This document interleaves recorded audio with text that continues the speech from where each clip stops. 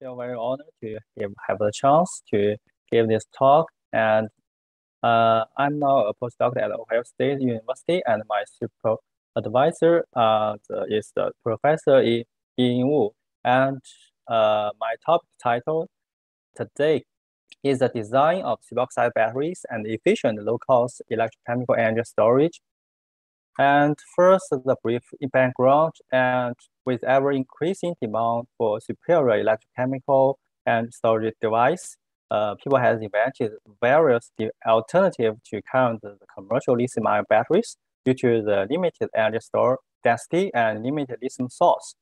And among them, uh, the metal air batteries has attracted more and more attention because it's ultra high theoretic energy store, uh, the density and abundant oxygen source on Earth.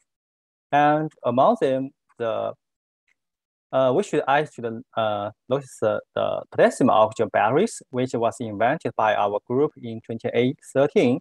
And typically, for the in principle, we have used uh, metallic potassium anode, uh, potassium mm, metal as anode, and using the oxygen as a cathode, and using another uh, carbon paper or carbon fiber as a gas diffusion layer.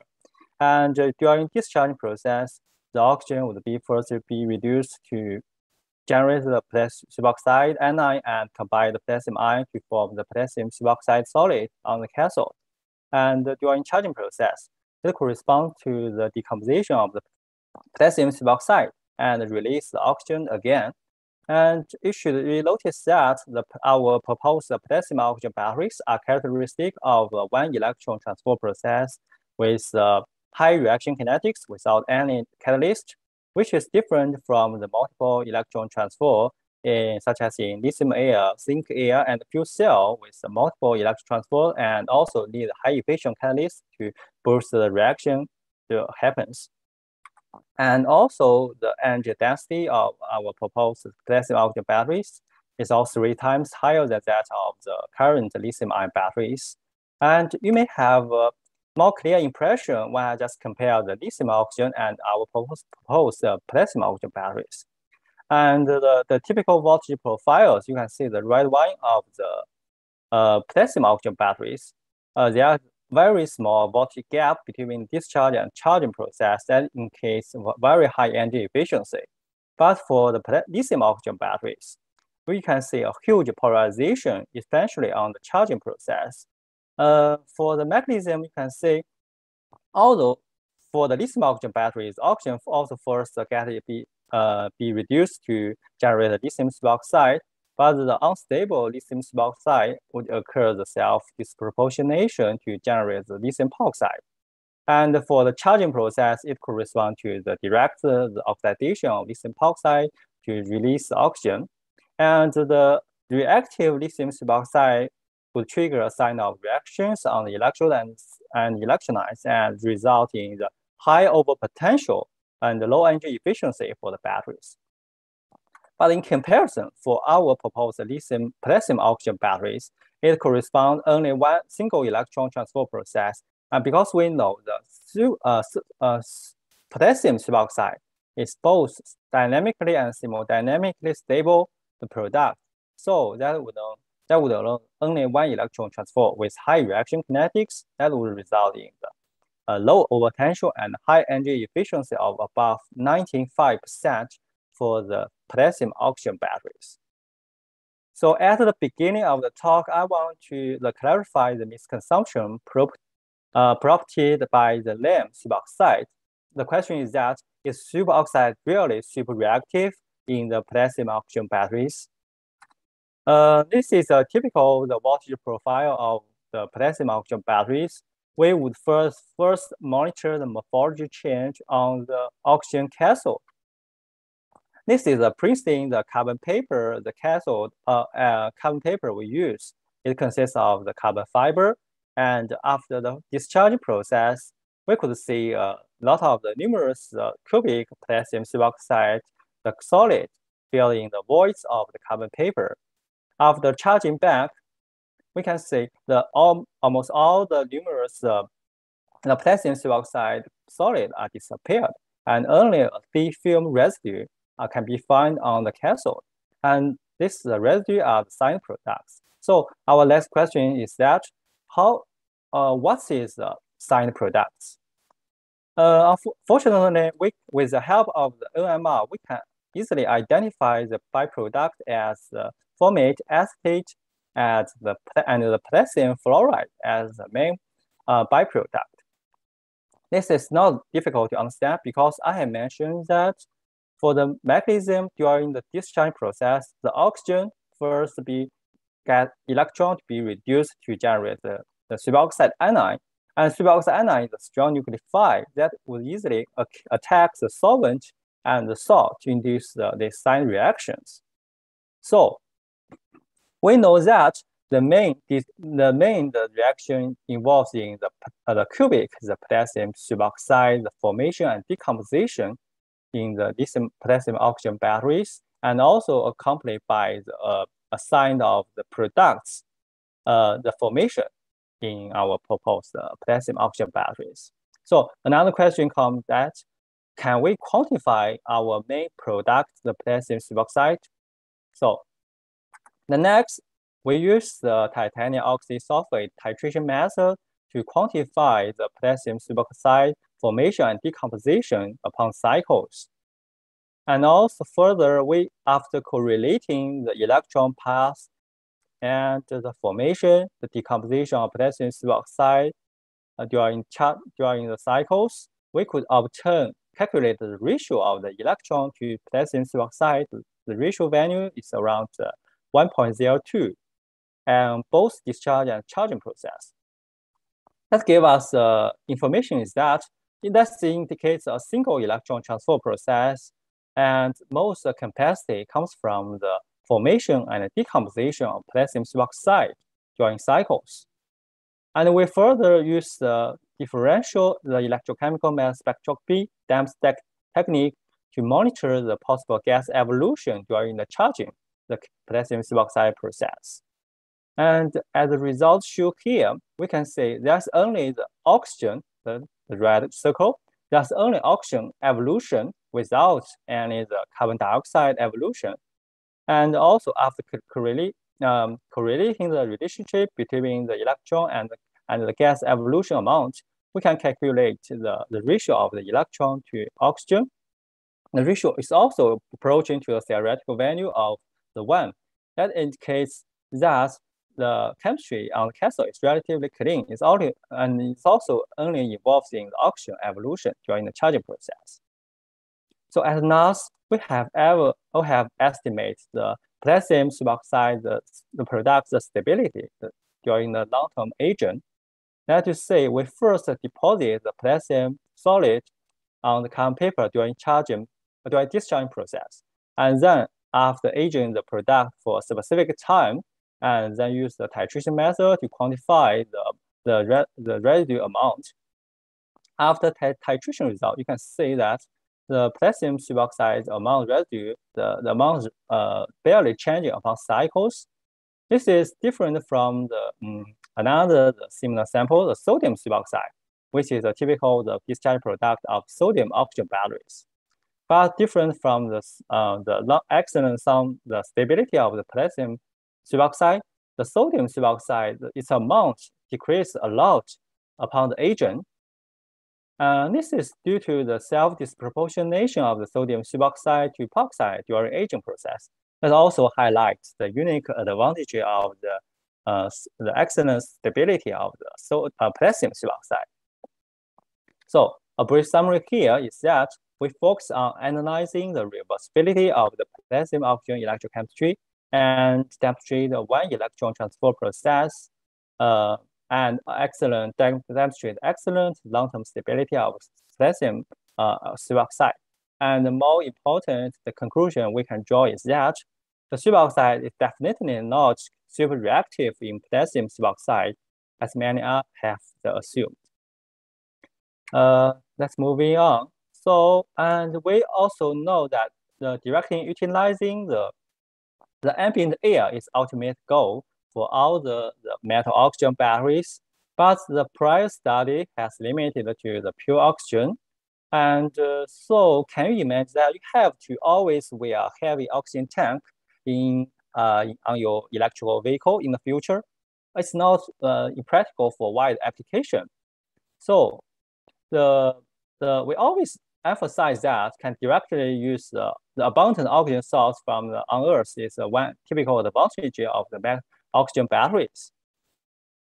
So here we propose whether we can directly utilize the ambient air as the oxygen source to power the metal oxygen batteries. Uh, so if this succeed, we will say if in the future you want to power your electrical vehicle, you just need to use your air blower, or maybe just need your hair dryer to power the fresh the air, the ambient air into your uh, battery system, and then you can start your vehicle. It's very uh, promising, I would say.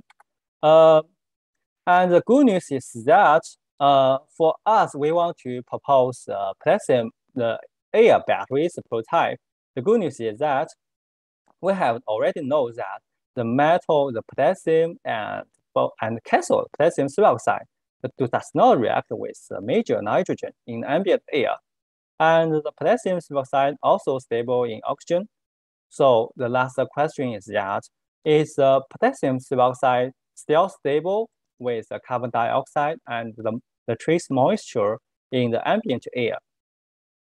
So to mimic the same reaction in the potassium air batteries, uh, with the commercial the potassium superoxide powder was agent in our design homemade setup with the agent in the dry carbon dioxide and the wet carbon dioxide in the presence of the moisture.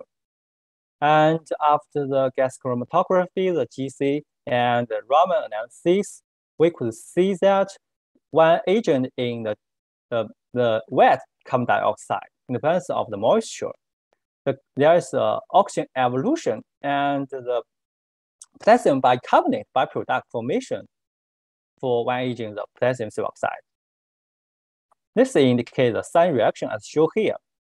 But when agent dry carbon dioxide in absence, absence of the moisture there's no detectable the oxygen evolution and no the byproduct, the, um, the byproduct formation. That indicates, that give us a piece of important information is that the potassium superoxide is stable with the carbon dioxide, uh, with the dry carbon dioxide. And more importantly, we have already know the potassium superoxide is stable with nitrogen, with oxygen, and with dry carbon dioxide. That means that Potassium superoxide is highly stable if the air is dry. And also we know it's much easier for us to dry the air, uh, the ambient air, just use a moisture trap, trap to remove the moisture. So with that knowledge, we have assembled the potassium the air batteries by employing the dry air as a cathode. And the assembled the potassium air bath dry air batteries shows a recorded lifespan, which even which is even better than that the case with using the high purity the oxygen, and and we know the the reduce uh, the oxygen the partial pressure in the ambient air atmosphere uh, would lower the both the discharge and charge plateau of the care battery, but it still shows a very voltage, low voltage gap in the in our proposed air batteries. And also, uh, the more importantly is that for our proposed potassium oxygen batteries, we do not need the high purity oxygen anymore. What we need is dry dry is ambient air, and the only thing we need to do is just to remove the moisture before the purging the ambient air. So that's very uh, impressive, right? And uh, after talking about the cathode part, then moving to the anode part. Uh, our previous research members have mentioned the limitation of the potassium oxygen batteries is due to the highly uh, usage of the highly reactive the potassium metal.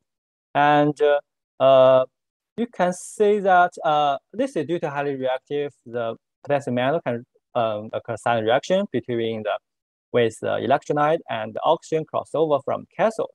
And you can see that after the battery filling, the cycled potassium, the surface you can find a uh, yellowish the byproduct surface layer consists, consists of the potassium superoxide. And uh, obviously the the anode protection is a focus of the potassium oxygen batteries research. Uh, I and my collaborator first proposed uh, a newly reactive the armor strategy for the potassium anode the protection, and we first utilize the sulfur dopants in the graphene to guide the nucleation and growth of potassium superoxide byproduct layer and resulted the layer anchored on the outer the graphene surface layer, which would function as a barrier layer for preventing the oxygen from further corroding the interior the potassium anode. And we can see that with uh, the protected the potassium anode still show the metal luster after long-term cycling.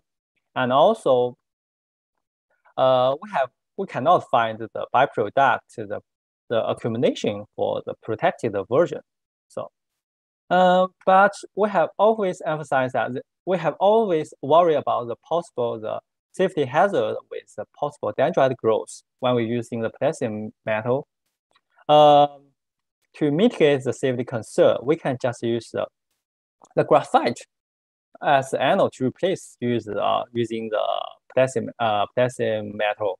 Uh, the the re reversible the integration of potassium ion into graphite into layer make it a promising anode pro uh, alternative for potassium ion batteries. But the current, uh, and also we know that the graphite is much cheaper than that of the metal potassium. And uh, but the current graphite anode still suffer from the large volume expansion and show a poor lifespan due to the large volume expansion. And we know that the uh, the good SEI can help alleviate the volume expansion and help improve the the graphite the cycle life. So and the SEI formation is strongly dependent on the electrolyte recipe, and so uh, the electrolyte selection is very important. Uh, here we use the potassium the graphite half cell set up to evaluate the potassium ion storage capability. And uh, the previous research has revealed that uh, using a high concentration electrolyte from the uh, by increasing the salt concentration can help the form a durable the uh, SEI on the graphite surface layer, which would help the be beneficial for improving its uh, cycle life. But we know that the high concentration electron in, indicates that we have to add a lot, a lot of the salt that would, that would increase the electrolyte cost. So it's not impractical for application. Here, we propose to add a kind of the low polarity, the co-solvent, highly fluorinated ether to dilute the concentrated electrolyte to form a, a so-called localized high concentration, high concentration electrolyte. And the added co-solvent will not precipitate the solvation structure, but also, but instead it would just to lower the parent electrolyte, the concentration, and decrease the salt cost. And the molarity of the, the different recipe uh, is, is shown here. And by comparison, we can say compared to the case uh, use the low concentration and the high concentration, the the graphite uh, cycled in the uh, in the lo in our proposed uh, localized high concentration electrolyte, uh, showing the red curves. Uh, it shows a, a larger enhanced the reversible specific capacity and uh, enhance the Coulombic efficiency. Uh, for the detailed voltage profile, we can see after the first, first cycle, after the SEI buildup, the graphite can show a very reversible and high the capacity of around 200, 200 milliampere per grams, uh, even after 300 cycles. And uh, the optical images show that the potassiated graphite shows a typical brown, brown color which is consistent with the previous research. After realizing the reversible the graphite, we want we still want to construct to co couple with oxygen cathode to build up the so-called potassium ion oxygen for cell. But we have just uh, uh, during the battery buildup, we have met uh, electrolyte dilemma. That is to say, we have realized we have realized the reversible graphite surface in the in a salt called KFSI using this kind of salt. But the problem is that the KFSI salt is not stable and is susceptible to the nucleophilic attack from the superoxide anion. And you can see the the superoxide, potassium superoxide and uh, superoxide anion would uh, induce the KFSI salt the severe the decomposition. Uh, although we can use another salt called KTFSI. This KTFSI is stable uh, in the presence of the potassium superoxide or the superoxide anion. But the problem is that the KTFSI cannot, when we use this, this uh, salt, cannot realize the reversible graphite anode. So in brief, uh, the dilemma of the electrolyte is that for the anode part, we use one kind of salt, KFSI, for forming a stable SEI. But for the cathode part, we have to use another salt, KTFSI, for to be stable with the superoxide anion. To solve these problems, we have just proposed a two-step artificial strategy uh, to address this issue. That is to say, we first to uh, also assemble a potassium graphite half cell in KFSI system for uh, for forming a stable SEI on the graphite surface followed by the potassiation.